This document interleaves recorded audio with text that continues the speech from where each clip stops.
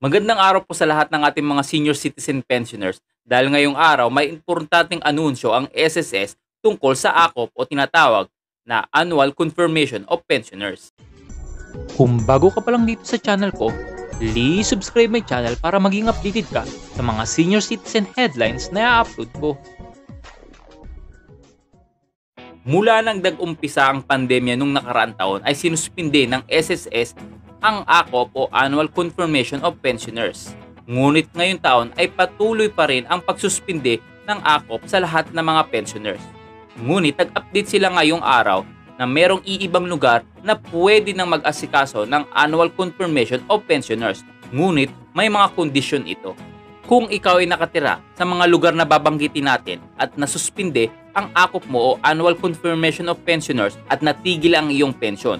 Disclaimer lang po, ito lang po ang mga pensioners na natigil ang kanilang pension at pwede na nilang asikasuin ang kanilang akop dito sa mga nababanggitin nating mga lugar. Ang mga lugar na nakasailalim sa MECQ o Modified Enhanced Community Quarantine ay ang mga lugar ng mga City of Santiago, Apayao, Ifugao, Bataan, Lucena City, Puerto Princesa, Naga City, Iloilo City, Negros Oriental, Zamboanga City, Zamboanga Sipugay, Zamboanga del Sur, Zamboanga del Norte, Cagayan de Oro City, Butuan City, Agusan del Sur, Dinagat Island, Surigao del Norte. Kung ikaw ay nakatira sa mga damanggit nating lugar at ngayon sa kasalukuyan ay wala kang natatanggap na pension at natigil o suspended, pwede mo nang asikasuin ang iyong AKOP o Annual Confirmation of Pensioners. Mula June 16 hanggang June 30, 2021, ang lahat ng mga SSS bars na mga nabanggit nating mga lugar ay meron lamang na 15% capacity. At meron din silang skeleton workforce from 9 a.m. until 4 p.m. until Monday to Friday.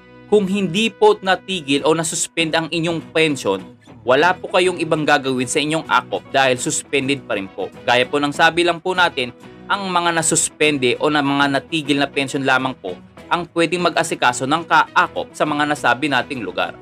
Dropbox shall still available sa lahat ng mga SSS branch. At kung pupunta po kayo ng walk-in, pwede po kayong pumunta basta susunod lang po kayo sa branch number coding system ng mga branch ng SSS. Uulitin ko po para po sa ating mga pensioners tanging ang mga pensioners lang po na mga natigil o nasuspended ang kanilang pension dahil sa AKOP ang pwedeng mag-asikaso ng kanilang annual confirmation of pensioners sa mga nasabi nating lugar.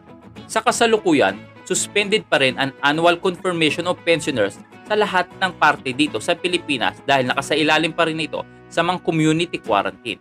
Ngunit, once na mawala na ang community quarantine sa inyong lugar, doon na magsisimula ang 60 days na ultimatum ng SSS para kumpletuin nyo ang inyong annual confirmation of pensioners. At kung nawala na ang community quarantine sa inyong lugar at sa loob ng 60 days ay hindi nyo pa rin nakukumpleto ang annual confirmation of pensioners ninyo, doon pa lang po matitigil ang inyong pension.